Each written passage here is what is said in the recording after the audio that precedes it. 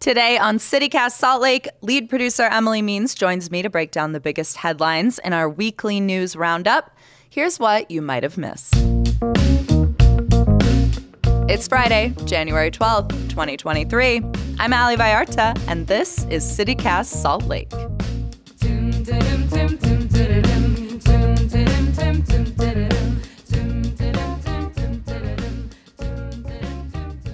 Emily Means happy Friday. Happy Friday, Ali Vallarta. Some big news this week. Well, we have breaking news. We're, we're uh, congratulations, guys. Uh, we're going to Utah. Oh, wow. Knives Out 3 in Salt Lake City. That'd be great. Oh, wow. All right, It would Rian be great. Johnson. Should you be so lucky? How dare you, sir? We saw the look on your face. You're not excited to bring your third movie of the Knives Out franchise to Salt Lake City? First of all, Salt Lake City is good enough for plenty of fancy people, okay? So it would be an excellent Knives Out location. Lindsay Lohan came here, okay? You think you're better than Lindsay Lohan? Right, exactly. Rian? Yeah, okay? Gail Ryan Miller could live anywhere. Here's what I want to say to you, Rian Johnson. Knives Out was excellent.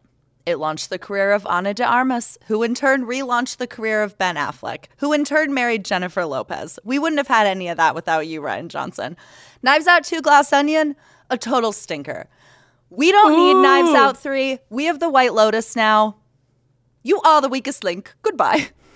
All right, let's get into things that are actually happening in our All city. right, fine. After three years in a COVID 19 state of emergency, Salt Lake County Health Department has declared that that state of emergency is over. Now, to be clear, this is not Dr. Angela Dunn and Mayor Jenny Wilson saying that COVID is over. What they are saying is daily operations are more than adequate for managing this pandemic from here on out. We enjoyed our $478 million in federal funding. Now that money's driving, drying up, and we're going to get back to business as usual. Thank you for that clarification, Ali. COVID is not over. Reflecting back on the past three years, Ali, and a quick walk down memory lane, I was at, I think, the very first emergency COVID briefing. Uh, it was in the bowels of the Utah State Capitol, and it was kind of like our first introduction to Dr. Angela Dunn, who at the time was the state epidemiologist. Yep. And wow. Yeah. like Was that- we didn't we just didn't know what we were in for. Would that have been right after the jazz COVID sort of scandal? the Rudy Gobert thing? I think it was actually even Wow. Mm. before that. I think it was like, look, we're starting to see this thing spread. It's in New York. Uh, you know, we're seeing it in China. Like, we need to be prepared. And yeah, it was scary. And, uh, you know, that's probably one word to sum up the past three years of this, but uh, I really appreciate Dr. Dunn's leadership on this when she was with the state. And, you know, I was excited to have her join Salt Lake County as the executive director of the health department. But uh, yeah, what a wild time. Wild ride indeed. Yeah, and let's not forget like an important, I think, important piece of this story, which is that one of the reasons that Dr. Dunn joined the Salt Lake County Health Department is because when she was the state epidemiologist, people were so mad about being asked to wear masks that they doxed her and protested outside of her personal home where she and her family live. And so, like, this has been a real journey for for this particular professional as well as all of the Utahns that have lost family members, that have lost their jobs. Like we've just really been through it together. And so yeah, I don't I don't know. I don't actually have like very strong feelings about this declaration. And I think that's partly because she is a public health professional that I really trust. Yeah. And also, it, it feels like very administrative, you Yeah. know, like, okay, yeah, we're, this is over on a paper, mm-hmm. right? And we're not going to be receiving any more federal funding for this. But one thing I did want to note I was looking at the county's COVID dashboard, which is still up and running. Only 12% of eligible Salt Lake County residents are up to date on their COVID vaccines and boosters. Do you know that, Ali? 12%. No. This is a big county. Okay? Yeah. There is a lot of ground to be made up there. 1.2 million people to to be sure. Yeah. They have a map with the vaccine coverage, and there is still a lot of work to be done on the west side of the valley. So, um, the county health department says they'll still be holding vaccine clinics, still trying to, you know, bring the most vulnerable people up to date on their boosters. Yeah. But this is a reminder and a plea to please, please get your booster shot. You can get it for free.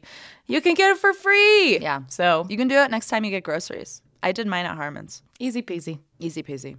Okay, let's talk about some city news. We got pedestrian news. By the way, Ali, welcome to your car free, car light life. Thank you. Are you regretting making that decision? it's just a month. It's just a month, though, so it's a good test run for you. Yeah, I mean, I'm not going to lie. So we recorded the episode where I agreed to go car light for a month. And then the next day, it sleeted in Salt Lake City basically all night. It sleeted and thanks, hailed. Thanks, atmospheric river. Yeah. And so that was sort of a rough introduction, but I'm going to find a way to have fun doing it. And hopefully be safe because one of my biggest anxieties, as we've discussed, is like how dangerous these streets are for pedestrians. Absolutely. And that is what Salt Lake City Mayor Erin Mendenhall was talking about this week she, when she announced the city is joining the Vision Zero network. This is the first I had ever heard about Vision Zero, but basically, what they're saying is that traffic violence doesn't have to happen. Imagine that a world where people aren't being hit by cars or, you know, there aren't collisions between cars and, mm-hmm. and pedestrians and cyclists. So, what they're doing is moving away from traffic violence as an inevitability and changing their mindset to something where this is actually preventable. So, this is really important because, Ali, there were 26 traffic deaths last year in Salt Lake City. That's according to the Salt Lake City police. That's a lot of people. And I think this is something that we were hopefully already on a path to. We've got the Livable Streets program here in Salt Lake where they're working on traffic calming working on people going slower and you know building roads that support that so this seemed like a really natural evolution of that to me Yeah, I mean, I'm certainly interested in a vision and a plan, and this is both of those things. And I often feel like when we're tackling things in this city, we either have a plan but no vision, or a vision but no plan. That's one of my biggest criticisms, I think, of Salt Lake City Corporation. So, re engineering the city to make driving less destructive as opposed to expecting drivers to just be less destructive seems like a good way mm-hmm. forward. First of all, buy in from the state and county would really elevate this mm. strategy. Because the Yeah. state is responsible for some of our most frightening roads, like Fourth South, State State Street. Street, hello, Redwood Road, Seventh East. Like these are some of the big, like I don't know, basically they feel like mini highways through the city. And so if the state isn't bought in to Vision Zero, then we still have to deal with those thoroughfares being kind of frightening. And then the other thing is like I would have loved to have seen this as a joint resolution between all the mayors in Salt Lake County. Mm, that would have sent a nice message It really would have, right? And like when we think about growth in the county, South Salt Lake is getting a main street, right? Midvale's got their downtown, which is kind of popping off. Mill Creek Commons, like these bedroom communities of Salt Lake City are growing. And they are also places where people want to be pedestrians. And there are places where like the planning of what the downtown is is happening right now in real time.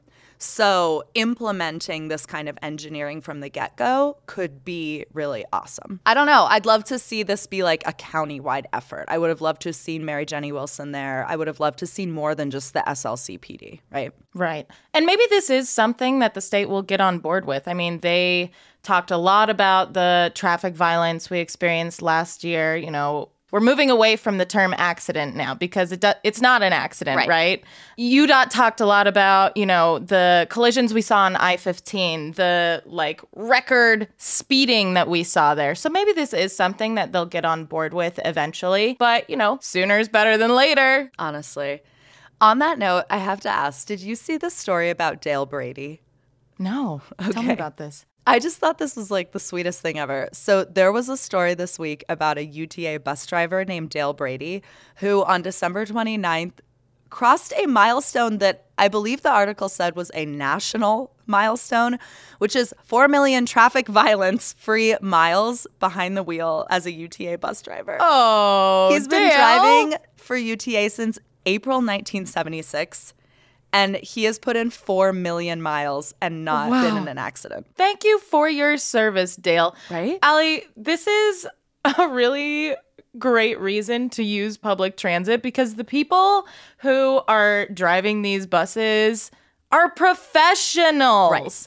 Yeah. And they have to put in, you know, I don't know how many hours before they're like actually official bus drivers.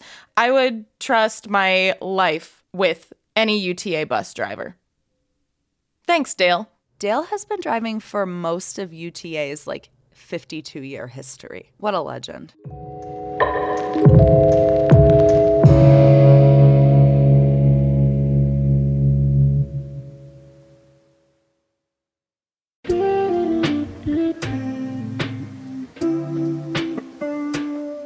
Hey, Salt Lake, it's Ali. An analyst at the Kem C. Gardner Policy Institute predicted that in 2023, Utah home prices will have dropped 9% from last year. If he's right, then first time homebuyers, we are headed in the right direction. Now is the time to start making a plan.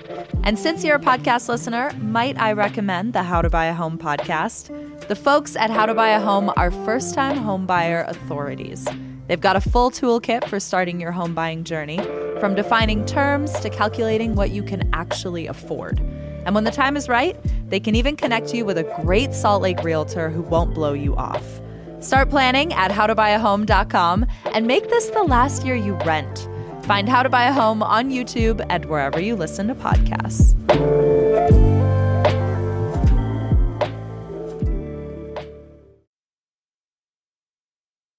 Okay, and before we go, there is one more story that I want to talk about. And I'm going to try and make it quick, but I'm kind of obsessed with it. So bear with me. I'm with you. Okay, we're going to leave Salt Lake City for a minute and then I'm going to tell you why.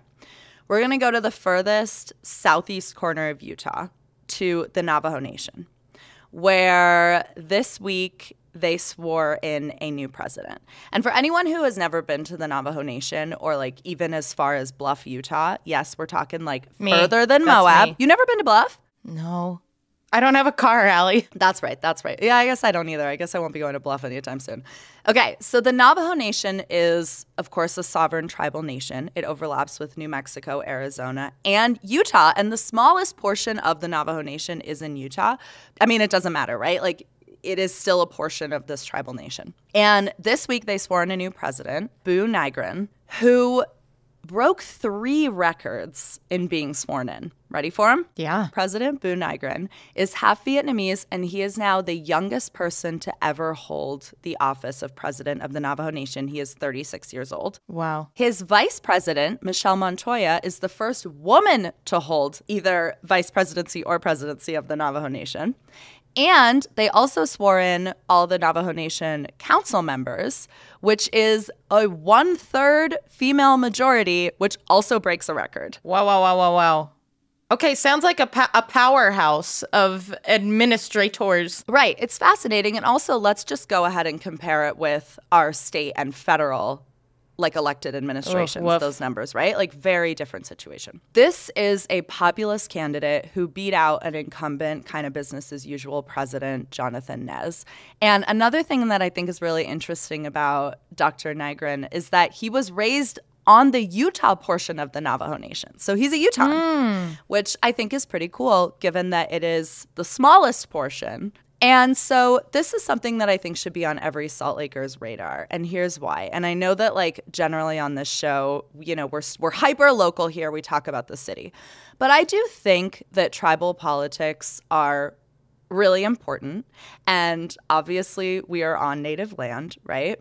The Navajo Nation is the largest land area held by a tribe in the United States. Despite the enormous role, of course, of the tribes and like indigenous ancestry in the West, I think that these stories are very underreported. Yeah. And so I also think something that we talk about a lot on this show is the ecological future of living in the West, right? And when we think about, for example, like the Great Salt Lake, one of the most exciting things happening with the crisis at the Great Salt Lake is the ecological restoration of the Bear River, which is its largest tributary, mm-hmm. by the Northwestern Band of Shoshone in southern Idaho, right? Like the federal Biden administration just signed a co-management plan for Bears Ears National Monument with the tribes. Like Western states are turning to indigenous wisdom when it comes to issues of land, air, and water. And so leaders of these sovereign nations, like the Navajo Nation, I think are going to play a really important role in the ecological future of the West.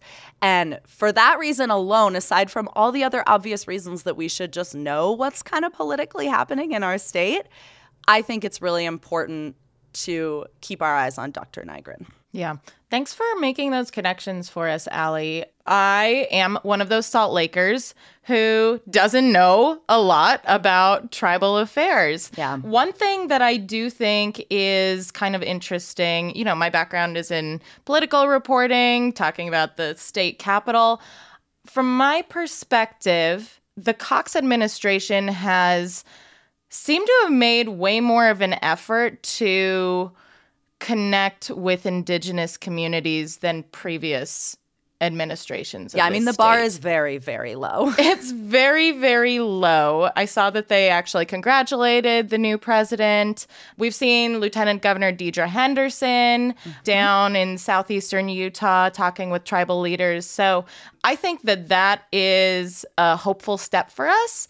But yeah, like you said, the bar is low, and uh, we would all be better off to be better informed about this. Yep. I think it's just like good to be oriented. And yeah, I think it's really cool that a portion of the Navajo Nation overlaps with Utah and that it's an opportunity. So yeah, that's that's a story that I was really interested in this week. But of course, we are headed into the weekend. What are you doing this weekend, Emily? Ali, I'm actually really excited for the Save Our Great Salt Lake rally on Saturday. I haven't been to mm-hmm. a like a good old fashioned rally in quite a while. Yeah. I used to cover them as a reporter, but it's been a long time since I've just been able to be with people and rallying around a because So mm-hmm. that is Saturday at noon at the Capitol. There will be a coffee truck there if you need it, like me, because I'll probably have just woken up like an hour before that. Before noon? yeah, you know, I like my weekends. If I could, I would sleep until I would sleep until like 11 a.m. every day. But one thing I'm really excited for is the art. Hmm. There was this incredible like art build that they did last week, you know, for posters and things like that. And I just really think Save Our Great Salt Lake always nails it on the art front. Oh yeah. I mean, their like Artists for Great Salt Lake campaign has produced some truly beautiful stuff. Like So- worth framing in your so house beautiful. kind of posters. Yeah. Yeah. You might see me in my brine shrimp head. I don't know. Watch for antennas. Ali, what are you doing this weekend? Well, they are petitioning again to make the brine shrimp the state crustacean. So if you go up there in your brine shrimp costume, know that it will be a political act. This weekend, Emily, I am turning 32. Happy birthday, Ali. Thank you. Looking forward to it. The 30s are incredible. Wouldn't do my 20s again for a million dollars. I will be celebrating my birthday out of town, but if I were in town, I would go to this winter market that they're doing at the All Together Skate Park. I don't skate, but I think it's fun to watch people skate. And do you know the like Evo campus in the Granary District? It's like that kind of corner brick building. Yeah, probably. EVO. Okay, so this I'm gonna have to do some exploring. Okay, so there's a skate park in there, an indoor skate park, and it's called the All Together Skate Park. And on Saturday from 1 to 5, so you could swing by after the rally, they are doing like a free open skate. They're going to have local art vendors, and they're also doing a drive for unsheltered neighbors. And I really appreciate when people are doing dri- like collection drives when they're very specific and this one is very mm-hmm. specific what do they want they want socks and they want tampons so swing by grab some socks get a thing of tampons or pads and bring them by and contribute to this collection that they're doing and maybe like i don't know maybe lace up some skates or get on a skateboard all right emily It was great spending this time with you. Have a great weekend. I will see you on Tuesday. Thanks for breaking down the news with me, Ali. See you Tuesday. Bye. That's all for us today here on CityCast Salt Lake. Our lead producer is Emily Means. Our producer is Ivana Martinez. Our newsletter editor is Terina Ria, and our host is me, Ali Vallarta. Music is by the local band Mitochondria. It is a long weekend for us in honor of Dr. Martin Luther King Jr. Day. We'll be back Tuesday morning with more from around this city. Have a great weekend.